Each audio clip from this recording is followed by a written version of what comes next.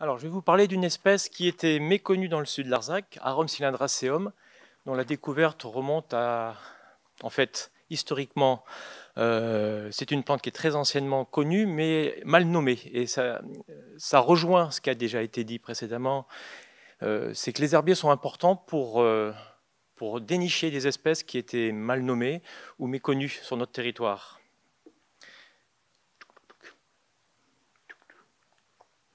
Alors tout d'abord une présentation du genre Arum.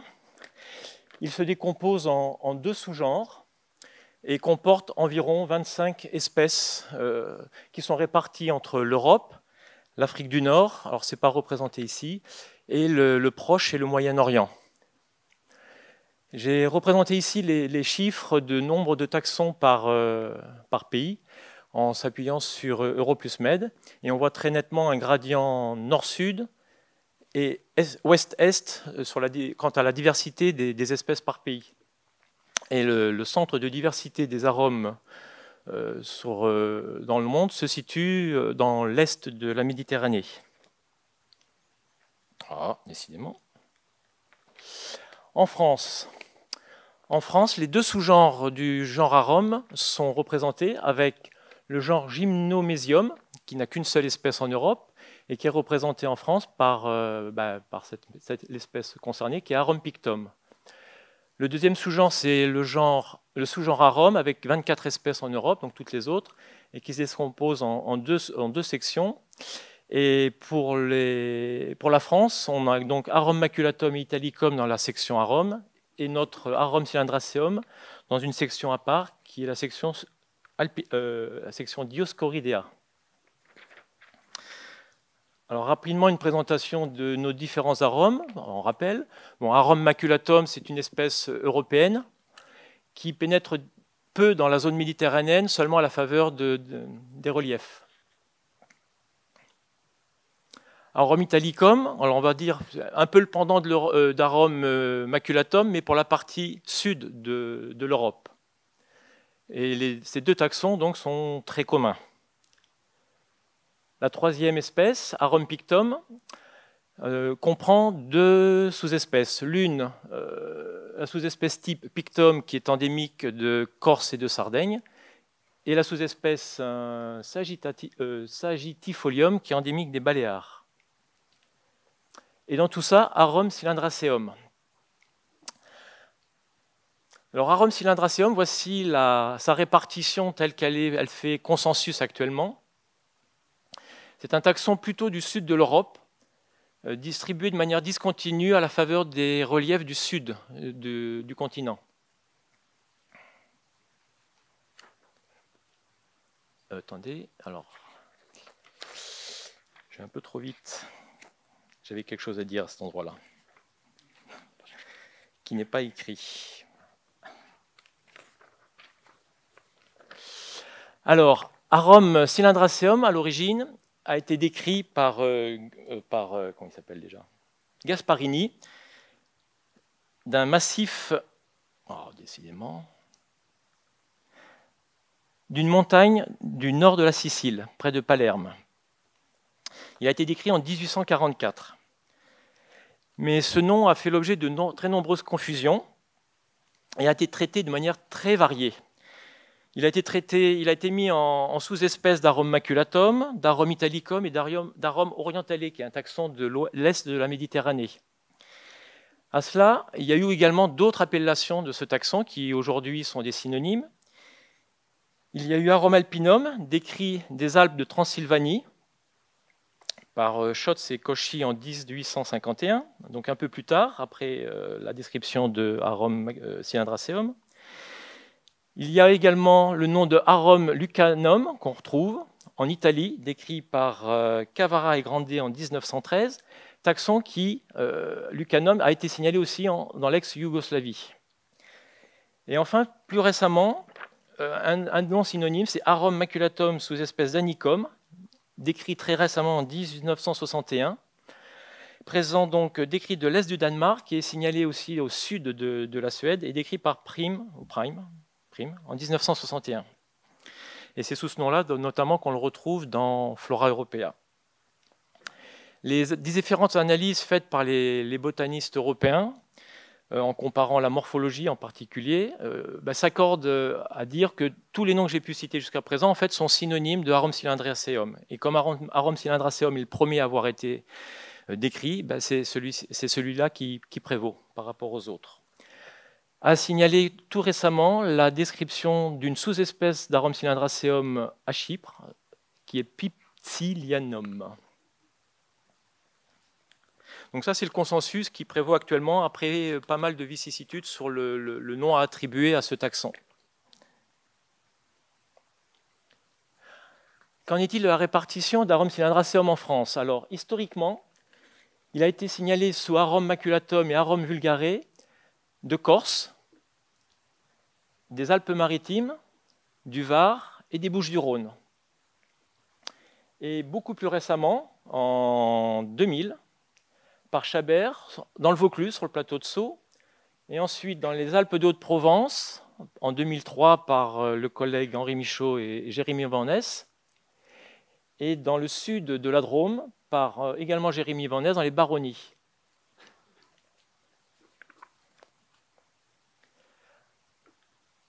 Quiz de la présence d'arômes euh, cylindracéum dans le Larzac. Alors, sa mise en évidence. Zut. Alors, d'abord, juste un, repositionnement géographique du Larzac pour que ceux qui ne sont pas de la région. Donc, le Larzac est un plateau, le plateau le plus méridional des Causes qui est ouvert sur la plaine méditerranéenne et qui est encadré par des massifs schisteux, granitiques, que sont les Cévennes, le massif des Cévennes iguales, le Lévezou, les monts de la Cône et la Montagne Noire. La mise en évidence d'Arum cylindriaceum dans le sud de l'Arzac a été réalisée en fait par Freelander en 1999 à partir de parts d'herbiers de Barandon qui sont au Muséum de Paris. Et en fait, l'arum cylindriaceum était rangé sous le nom de Arum maculatum. Et sur la part d'herbier, il y avait comme indication la Sérane. La Sérane, c'est cette crête qui borde au sud-ouest le Larzac et qui domine la plaine méditerranéenne, juste au-dessus du massif de Saint-Guilhem-le-Désert. Cette part d'herbier est sans date, mais on peut quand même euh, situer à peu près euh, la, la, placer dans le temps. Elle est antérieure à 1886 parce qu'en fait, la mention d'arôme maculatum sur la Sérane, figure dans la flore de Loré Barandon, la flore de l'Hérault, qui date de 1886. Et cette mention d'Arum cylindriaceum euh, a été reprise par Christian Bernard suite à la publication de l'article de Friedlander dans sa deuxième édition qui actualise la flore d'Écosse en 2008.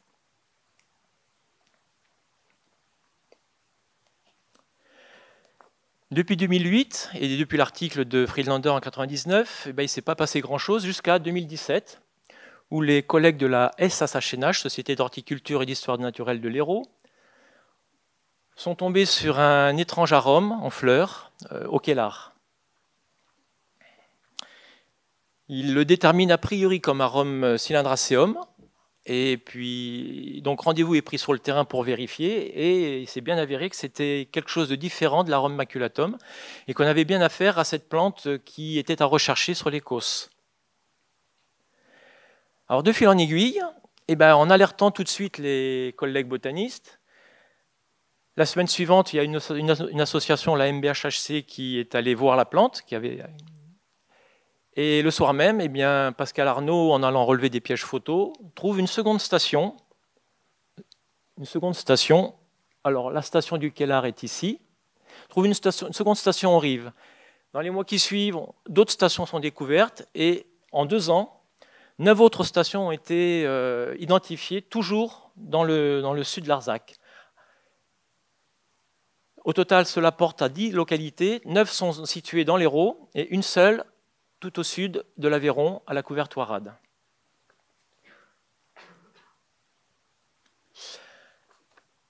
Alors les critères pour essayer de comprendre ce qu'est arôme cylindracéum par rapport aux deux autres arômes les plus communs qu'on va trouver, enfin les deux autres arômes qu'on va trouver sur son aire de distribution, que sont arôme maculatum et arôme cylindracéum. Alors quand la plante est en fleur, il y a un critère important qui est le spadis. cet organe. Alors sur cette fleur qui a été coupée volontairement pour bien montrer sa forme, le spadis est globalement cylindrique, d'où le nom de la plante. Il est très légèrement élargi, mais ce n'est pas très très net, pas très distinct. Par contre, chez Arum maculatum, on voit très bien nettement l'élargissement en massue, de même chez Arum euh, italicum. Alors la couleur au passage est a priori violette chez Arum maculatum, euh, cylindraceum, elle peut être variable chez Arum maculatum, et elle est généralement jaune pâle chez Arum italicum. Un autre critère euh, dans l'inflorescence, l'aspate d'Arum cylindraceum est plutôt fermé. Vous imaginez ici que l'on, n'y a pas la partie coupée. toute la spate ici est globalement peu étalée. On voit bien ici chez Arum maculatum une spate beaucoup plus ouverte.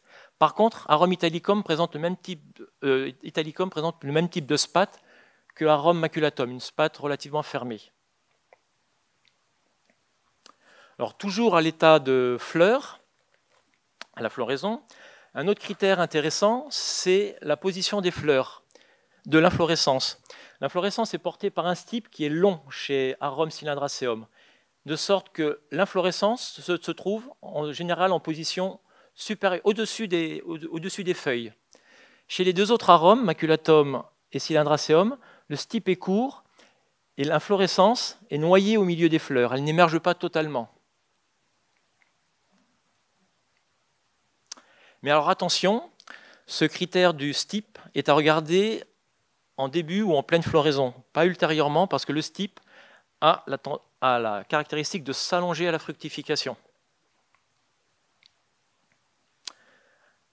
Un autre critère, état végétatif ou, en fleurs, mais à utiliser avec parcimonie, vous le comprendrez, c'est d'éterrer le, rhizome, qui est très particulier chez Arum cylindraceum. Il est c'est un principe d'empilement d'assiettes vertical en général. Dans la littérature, on trouve, euh, le, terme d'horizontal. Euh, les quelques arômes que j'ai pu déterrer avec euh, notamment Christian, Bernard, c'était à chaque fois une disposition verticale.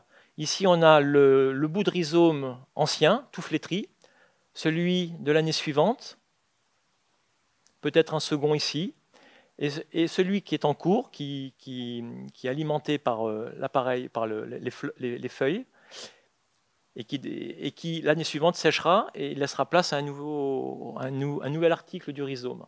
Donc disposition verticale et emboîtée.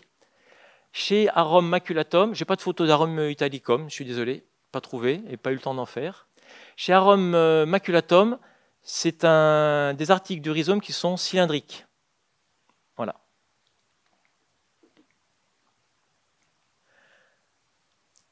Alors, Arum cylindraceum peut encore se déterminer quand il est en fruit. Il a la particularité de fructifier très longtemps et tardivement. Avec Christian, on est allé arboriser fin août l'an dernier et on en a trouvé beaucoup.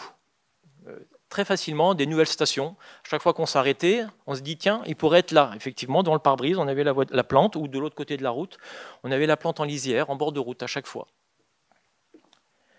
Donc euh, en fin d'été, il est possible donc d'aller herboriser et rechercher, et c'est assez facile de voir les fructifications rouges au milieu de la végétation. Un, critère que je n'ai pas trouvé dans les flores, c'est le stipe. Il est vert pâle, vert glossescent très pâle. Chez Arum maculatum, il est vert euh, normal. Et chez Italicum aussi, alors là, il faut faire attention, il y a eu un coup de flash et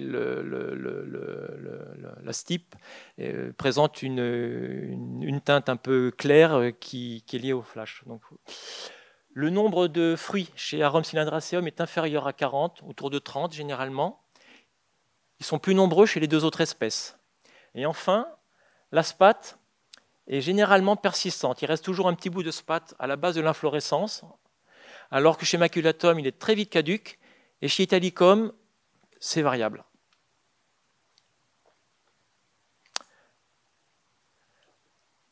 Les différentes découvertes d'arômes euh, cylindraceum ont, ont, suscité des herborisations sur des secteurs où arôme maculatum avait été signalé.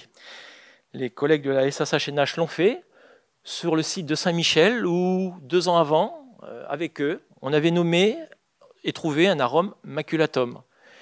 Donc en 2017, ils sont retournés dardard et en déterrant la plante parce qu'elle ne fleurissait pas, eh bien, il s'est avéré que par le rhizome, il a été très évident de dire qu'on avait affaire à un arôme cylindracéum.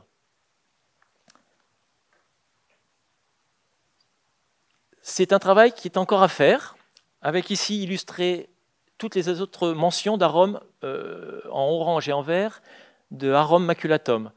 Alors ici, ces stations d'arôme maculatum sont a priori confirmées, il s'agit bien de l'arôme maculatum. On est à une altitude de 1000 mètres dans une étrée, dans des cortèges à Galanthus nivalis, à Perceneige, à Corridal. Euh, pas du tout l'ambiance d'arôme euh, cylindracéum qui recherche plutôt, qui est dans, la série du, du chêne pubescent. On voit dans la distribution des arômes euh, cylindracéum du sud de l'Arzac des points d'arôme maculatum. Ici, encore avec la SHNH, on a mentionné un arôme maculatum qui conviendrait d'aller contrôler. Dans les gorges de la vis, ici, il est probable que l'on ait affaire à un arôme maculatum. On est dans des stations abyssales, dans des traits.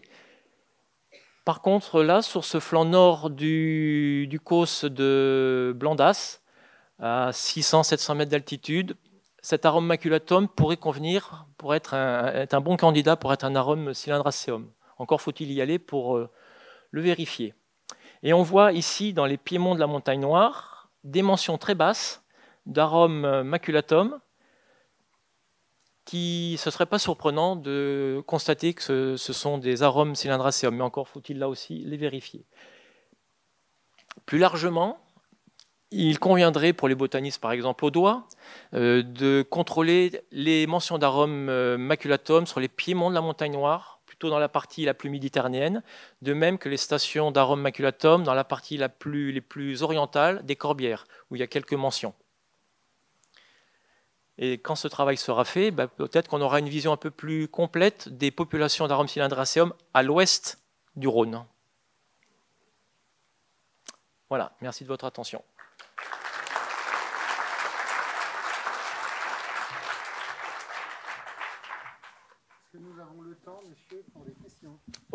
Ah Quelle heure est-il? Allez, de toute façon, on va le prendre pour au moins une question, s'il y en a une dans cette salle. Et je répète, cette, donc, euh, pour, euh, pour, rebondir toujours sur euh, le discours sur les herbiers, la mise en évidence de cette espèce, c'est encore grâce à des collections et des collectes d'herbiers. Donc, j'invite tous les jeunes botanistes notamment, certes à ne pas abandonner le numérique, qui est aussi utile pour compléter, notamment dans le cas de couleurs de fleurs, mais euh, d'avoir des, échantillons de référence pour, tout, ce qu'ils peuvent créer comme nom de plantes. Une question, Jeanne? Juste une question, Frédéric. Euh, euh, c'est vrai que ces arômes maculatum, quand ils sont sur calcaire, nous ont toujours un peu intrigués. Le petit point qui est tout au nord, c'est un point que j'avais rencontré avec Joël Mathèse, mais il n'y avait pas de fleurs, donc il m'avait intrigué. Est-ce que tu as une écologie différente, silice, euh, calcaire, ailleurs dans le monde Oh merde, j'ai fait une connerie. Je me suis trompé de bouton. tu veux pas répondre, c'est ça Vas-y, vas-y. Est-ce que tu as, une, écologie calcaire silice sur les stations qui existent ailleurs dans le monde, en Provence? En Provence, il me semble que c'est sur calcaire, mais ailleurs, je ne sais pas. Encore euh, Je n'ai pas vérifié, je n'ai pas croisé les informations d'arôme euh, cylindracéum en Provence, enfin dans les Alpes du Sud. Euh, par rapport à la géologie. Par contre, il y a des mentions en Corse, oui, elles sont sur silice. Elles sont dans la partie nord de l'île. Euh, c'est pas dans les zones de, calcaire, euh, de, granit, de calc-schiste. Euh, c'est plus dans la zone granitique. pour la Provence, j'en ai aucune idée, j'ai pas regardé. Et pour la partie. Où ça? À Sainte-Baume, oui. En Provence, il est sur calcaire. Ouais. Mais est-ce qu'il y a des stations en Provence sur silice? Aucune idée. Oui. Mais les euh, ouais. Et toutes les, stations d'arôme maculatum qui sont à vérifier sont effectivement sur calcaire et notamment celle des Piémonts de la Montagne Noire, euh, à des altitudes. C'est toujours autour, toutes les, toutes les mentions d'arôme cylindracéum et de maculatum qui sont à vérifier, euh, d'arôme cylindracéum et maculatum qui sont à vérifier, se situent autour de 6, 700, 750, à peine 800 mètres d'altitude. Voilà. et sur calcaire et plutôt dans, dans l'étage du chêne pubescent. Oui, bah, pas dans les lapias, pas dans. il faut des sols un peu profonds. Et alors, l'arôme euh, cylindracéum sur l'écosse, euh, on l'a trouvé avec Christian euh, bah, aussi, autour des villages. Sur, vous prenez un, petit chemin empierré qui, qui borde le village, bah, là, au, pied des murs, dans des zones à, à frêne avec de l'ortie, avec de l'alière, avec de la quilidoine. Euh, ben voilà, c'est là-dedans qu'on l'a trouvé quasiment systématiquement, euh, en bord de piste, entre, sous, sous les, à côté des buis, des frênes et, des, et du chêne pubescent. Euh, et très facilement, franchement, avec Christian, l'an dernier, on se dit tiens, on va aller à Saint-Maurice-Navacelle, on va voir, hein, on s'arrête, on n'était même pas sorti de la route qu'on l'avait pointé. Et ça s'est produit trois fois de suite, ça. Donc c'est une espèce qui était passée totalement inaperçue. Euh, il suffit juste maintenant, c'était comme pour Cerastium siculum, maintenant qu'on a l'œil, son écologie, eh bien, il ne reste plus qu'à aller dans des endroits qui lui sont très favorables pour, euh, pour le pointer.